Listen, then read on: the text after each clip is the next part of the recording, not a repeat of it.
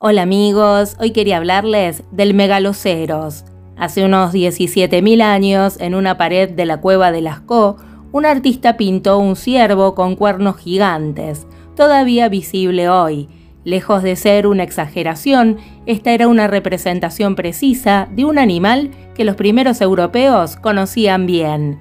Hoy se lo llama Megaloceros giganteus, el alce irlandés o gran venado de la turbera. Los machos más grandes pesaron prácticamente 700 kilogramos, aproximadamente lo mismo que un alce macho en Alaska, y lucía las astas más grandes del mundo. Algunas podían alcanzar 3,5 metros de ancho y pesar cerca de 40 kilogramos.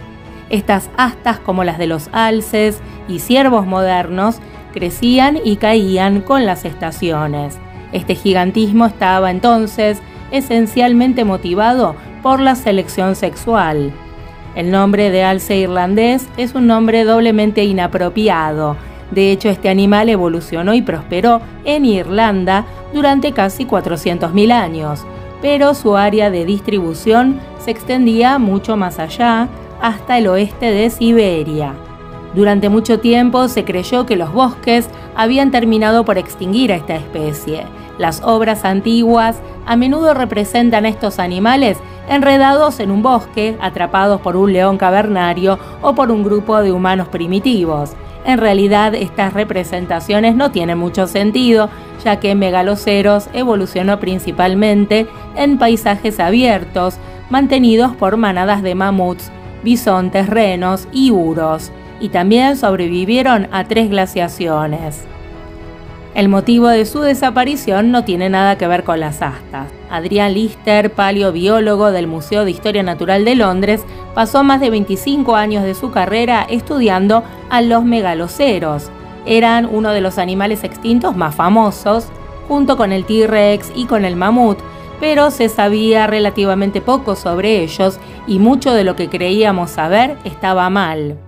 El mapeo de Lister, la datación e investigación del polen han demostrado desde entonces que estos animales realmente soportaron la peor parte del cambio climático, pasando por un periodo de enfriamiento rápido que ocurrió entre 12.000 a 13.000 años. De hecho, estos animales necesitaban abundante pasto, hojas y brotes ricos en minerales para sobrevivir y evolucionar adecuadamente. Sin embargo, bajo los efectos de este frío, la vegetación se había vuelto poco a poco escasa.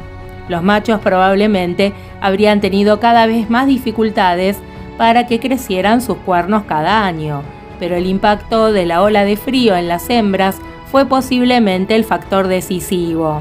Según este estudio del año 2008, la capacidad para producir y alimentar a las crías viables estaba estrechamente relacionada con el estado nutricional de las hembras. Entonces a medida que estos paisajes se iban convirtiendo en hielo y en tundra, el tamaño de los rebaños se habría reducido para finalmente llegar al punto de no retorno. Paralelamente, los investigadores apuntan a que es posible que los humanos del Paleolítico hayan terminado por extinguir a las últimas poblaciones ya condenadas, sin embargo esto nunca ha sido probado. A partir de entonces, los humanos se olvidaron por completo de este ciervo gigante hasta finales del siglo XVI y principios del siglo XVII, cuando los campesinos de Irlanda, buscando los pantanos para encontrar turba como combustible, comenzaron a hallar varios de los huesos y de las astas. Todavía algunos de estos fósiles adornan las paredes de los castillos hoy en día. En septiembre del año 1940, Marcel Rabidat, un joven de 18 años, descubrió una de las cunas del arte. Marcel y tres amigos más se adentraron en una cueva en la colina de Lascaux, en Francia.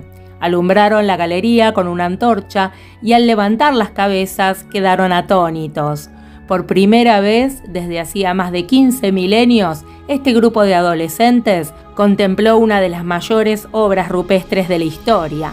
Las pinturas paleolíticas de Lascaux son representaciones de animales, muchos de los cuales se extinguieron hace tiempo, como el uro euroasiático, el rinoceronte lanudo o la hiena de las cavernas. pero posiblemente el animal pintado más emblemático sea Megaloceros. Como les conté antes, el ciervo gigante o alce irlandés no es ni un alce ni es solamente de Irlanda. Este gentilicio se debe a que se encuentran a menudo restos en Irlanda en las zonas de turberas de la isla Esmeralda, aunque también habitaba en toda Europa, buena parte de Asia y el norte de África. La denominación de alce es un desacierto que fue arrastrado desde que el doctor Sir Thomas Molinet lo describió científicamente por primera vez en el año 1697. En esa época la idea de la evolución todavía no era popular y muchos pensaban que era un alce actual. Georges Cuvier fue el primero en desmentirlo. Este científico demostró que Megaloceros giganteus era una especie diferente e imposible de encontrar con vida. Se convirtió en uno de los primeros animales reconocido como extinto.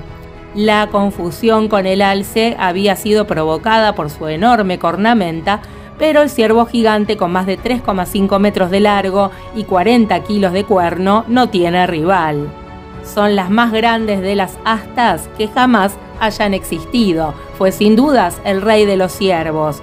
Y algunos piensan que fue víctima de esta grandeza y el peso de su corona acabó con su reinado. Para Cuvier, la formidable cornamenta se convirtió en el elemento clave de la extinción. Un crecimiento desmesurado de las astas provocó que los machos no levantaran la cabeza de nuevo.